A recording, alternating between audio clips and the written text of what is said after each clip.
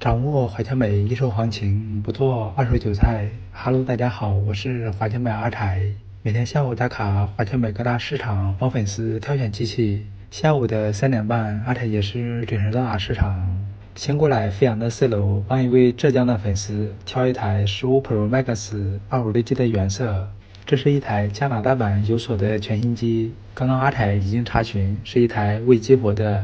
加拿大版和欧版的机器都是一样，有这个原生卡槽的，不过是原生单卡的。带这种原生单卡的，比美版无卡槽的是贵了一大截。像这台二五六 G 的原色，我们在市场是花了六千块拿到。不过像蓝色和黑色的是便宜的两百块钱，五千八就可以拿到了。这个价格阿台觉得是偏贵一些，小伙伴们你们觉得呢？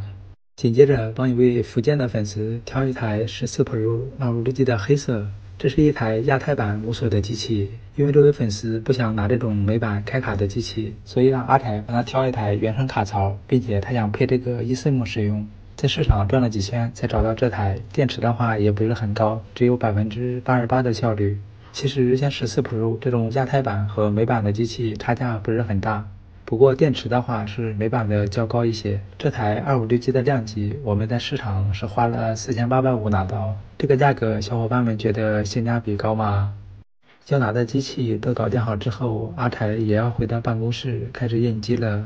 今天的市场行情就先分享到这里了，我们下期视频不见不散吧。